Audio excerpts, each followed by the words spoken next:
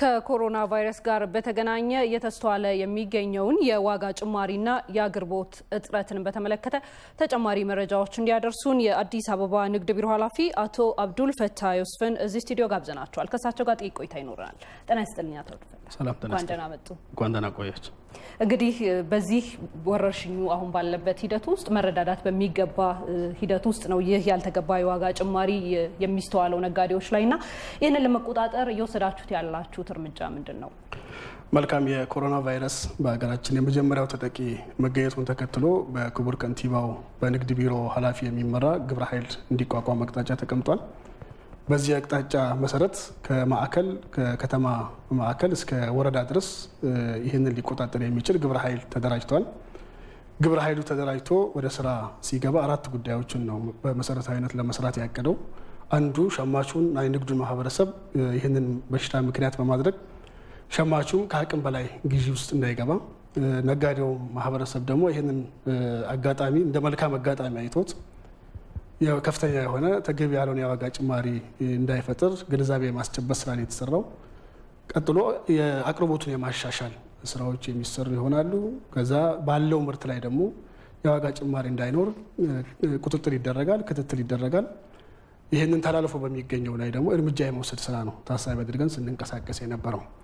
በዚህ መሰረት ወደ ተግባር ከገባን በኋላ ወደ 439 የሆኑ የንግድ ድርጅቶች ተገቢ ያልሆነ ይህንን የኮሮና ቫይረስ በሀገራችን መከሰቱን ተከትሎ ምርቶችን በተመጣጣኝ ዋጋ ማቅረብ ሲገባቸው ምንም ምክንያት ዋጋ ሊያስጨምር የሚችል ምክንያት ባሌለበት በጋራ ሆነው ዋጋ በመተመን የሸማቹን ማህበረሰብ ፍርሃትና ስጋት፣ ጭንቀት ታሳቢ በማድረግ ዋጋ ያጨመሩበት ሁኔታ አለ። ይሄ ትክክል እንዳልሆነ አስገንዝበናል አስቀድመን ይህንን ብናስገነዝብም ስግብግብ ነጋዴዎች ሊመለሱ አልቻሉም።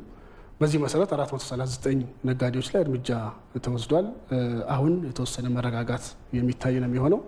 ከዚህ ጎን ለጎን ግን አቅርቦቱን እያሻሻልን እየሄድን እንደሆነ ሸማቹ ማህበረሰብ ሊገነዘብ ይገባል የሚል እምነት አለ።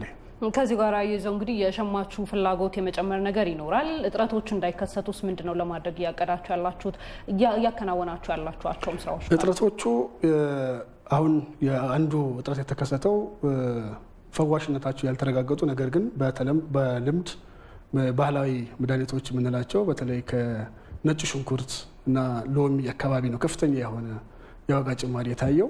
ይህንን ባደረጉት ላይ እርምጃ ከወሰድን በኋላ የተወሰነ አንዳንድ ገበያ ማዕከላት ላይ የመረጋጋት ነገሮች አሉ። አንዳንድ ቦታ ላይ እስካሁንም ድረስ ያልቀነሰበት ሁኔታ አለ። ይህንን ችግር በዘላቂነት ለመቅረፍ የሚቻለው ምርቱን በማቅረብ ነው። ምርቱን ከማቅረብ ጋር ተያይዞ አምራቾች ምርቱን እንዲያቀርቡ ከህብረት ስራ ማህበራት ጋር በመሆን ምርቱ እንዲቀርብ እየተደረገ ነው። እዚሁ አሁን አትክልት ተራ ብትሄጂ የምርቱ ብዙ ዋጋ አልጨመረም። ነገር ግን ከዛ ወስደው ቸርቻሪዎች ናቸው በከፍተኛ ሁኔታ ዋጋ እየጨመሩ ያሉት። ስለዚህ ከአትክልት ተራ በሸማቾች አማካኝነት ምርቱ እንዲሄድ በማድረግ በተመጣጣኝ ዋጋ ለህብረተሰቡ እንዲቀርብ ነው እያደረግን ያለ ነው እና ከዚህ ጋር ተያይዞ ሌሎች የእህል ምርቶችም የአትክልትና ፍራፍሬ እንደዚሁም ከዚህ በሽታ ጋር የንጽህና እቃዎች አሉ። እነዚህን በገፍ በህብረት ስራ ማህበራት አማካኝነት ለሸማቹ በማቅረብ ዋጋውን የማረጋጋት ስራ እንሰራለን። ከዚህ ጎን ለጎን የንግዱ ማህበረሰብም ምንም ዋጋ ያልጨመሩ በዚህ ሰዓት ዋጋ መጨመር በጣም ነውር ነው፣ ከኢትዮጵያዊ ጨዋነት ያፈነገጠ ነው በሚል ምንም ዋጋ ሳይጨምሩ እየሄዱ ያሉ ነጋዴዎች አሉ። እነዚህ ነጋዴዎች በዚህ አጋጣሚ በራሴና በንግድ ቢሮ ስም ላመሰግናቸው እወዳለሁ። ሌሎችም ነጋዴዎች የነዚህን ፈለግ ተከትሎ ህብረተሰቡ በዚህ ሰዓት ያለውን ጭንቀት ተከትለን መጨመር በጣም አሳፋሪ እንደሆነ ተገንዝቦ ይልቁንም እንደ ሌሎች ሀገሮች መተጋገዝ፣ መተባበር እና ይሄን በሽታ ለመከላከል የሚያስችሉ ጥንቃቄ እርምጃዎችን እየወሰድን መሄድ ከቻልን በሽታውን በአጭር ጊዜ ውስጥ ተቆጣጥረን ዋጋውን እንዲረጋጋ ከፍተኛ አስተዋጽኦ ማበርከት እንችላለን የሚል ሀሳብ አለን። አቶ አብዱልፈታ እስካሁን እንግዲህ ሁኔታዎችን ተመልክታችኋል እና ከሸማቹ ማህበረሰብ ምን ይጠበቃል የሚለውን በአጭሩ ያንሱልኝ። እናናውቅ ሸማቹ በተደጋጋሚ በክቡር ጠቅላይ ሚኒስትራችንም የተላለፈ መልእክት አለ። ምንም መጨነቅ መሸበር ሳያስፈልግ የሚያስፈልገውን ብቻ ምርት እንዲገዛ ማድረግ አሁን በነጋዴው ማህበረሰብ ብቻ ሳይሆን በሸማቹም አካባቢ ላይ ከፍተኛ የሆኑ ምርቶችን አግበስብሶ የመግዛት ሁኔታዎች አሉ። ከዚህ መታቀብ ያስፈልጋል።